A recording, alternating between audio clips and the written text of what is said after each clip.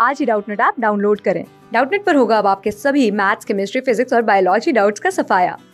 बस अपने क्वेश्चन की फ़ोटो खींचो, उसे क्रॉप करो और तुरंत वीडियो सोल्यूशन पाओ। Download now. In this question we have given, if the surface is smooth, the acceleration of block m2 will be. तो यहाँ पे देखो हमें, अगर सरफेस स्मूथ है, यहाँ पे कोई भी सरफेस स्मूथ मतलब म्यू के वैल्यू ज़ीरो है फ्रिक्शन फोर्स आपको कंसीडर नहीं करना है। अब हमें m2 का एक्सेलरेशन फाइंड आउट करना था। तो यहाँ पे देखो, मान लेते हैं कि m2 ब्लॉक लेट से m2 ब्लॉक कुछ a एक्सेलरेशन से नीचे की तरफ़ गया होगा तो m1 ब्लॉक को देखो इस डायरेक्शन में जाना पड़ा होगा। मान लेता हूँ कुछ एक्सेलरेशन ए डैश से तो पहले ए डैश और ए के बीच में आपको रिलेशन चाहिए होगा। उसके लिए यहाँ पे देखो, इस स्ट्रिंग में टेंशन कितना होगा? टी तो यहाँ पे देखो इस स्ट्रिंग में टेंशन टी आएगा, इस स्ट्रिंग में सेम टेंशन टी होगा, क्योंकि ये एक सिंगल स्ट्रिंग थी।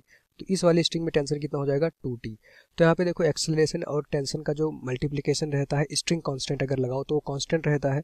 तो यहाँ पे देखो M2 ब्लॉक का एक्सेलरेशन ए है। M2 जिस स्ट्रिंग से बधा हुआ था उसमें टेंशन कितना है? टू टी तो यहाँ पे देख सकते हो A into two T A किसके बराबर होगा? देखो M1 ब्लॉक किस स्ट्रिंग से बधा हुआ उसमें टेंशन कितना है? टी और M1 का एक्सेलरेशन कितना है? ए डैश तो यहाँ पे देखो टी इंटू ए डैश के बराबर होगा। क्लियर ये हमारा एक शॉर्ट मेथड था बाकी इसको आप L1, L2, L3 मान के डिफ्रेंशिएट करके भी A1 और सॉरी A और A डैश में रिलेशन निकाल सकते थे। तो यहाँ पे देखो T से T कैंसिल हो जाएगा इट मीन्स A डैश की वैल्यू किसके बराबर हो जाएगा? 2A के बराबर होगा।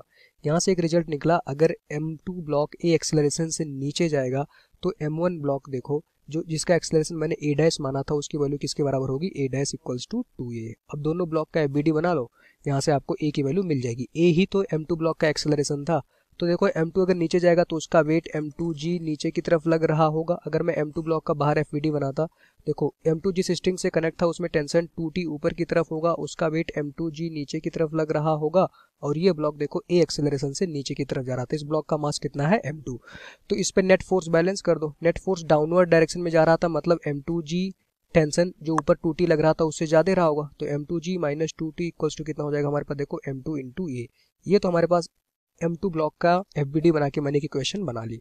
दूसरा, अगर मैं M1 ब्लॉक का एफ़ बनाता तो इस M1 ब्लॉक पे सिर्फ़ और सिर्फ़ एक ही टेंशन लग रहा है जिसकी वजह से ये ए डैश एक्सेलरेशन से आगे की तरफ़ जा रहा था। तो नेट फोर्स इसमें कितना है? टी इज़ इक्वल्स टू कितना हो जाएगा?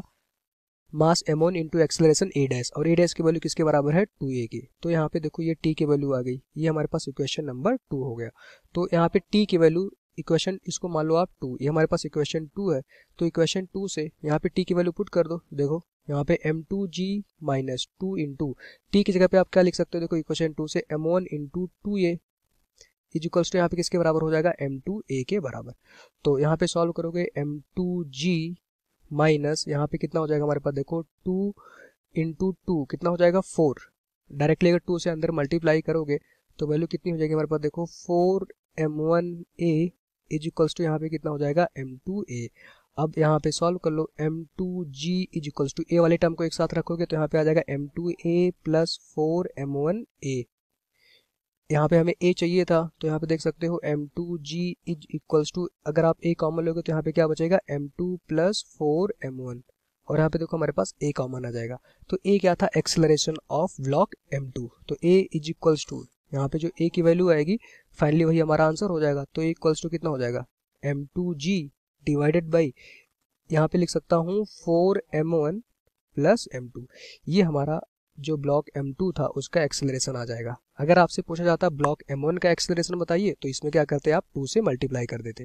क्योंकि ब्लॉक एम वन का एक्सेलरेशन टू ए के बराबर था। ब्लॉक एम टू का एक्सेलरेशन हमसे पूछा गया था, उसकी वैल्यू कितनी थी? ए और ए की वैल्यू आप कैलकुलेट कर चुके कितना है? M two G divided by four M one plus M two तो M two G divided by four M one plus M two option number one में है।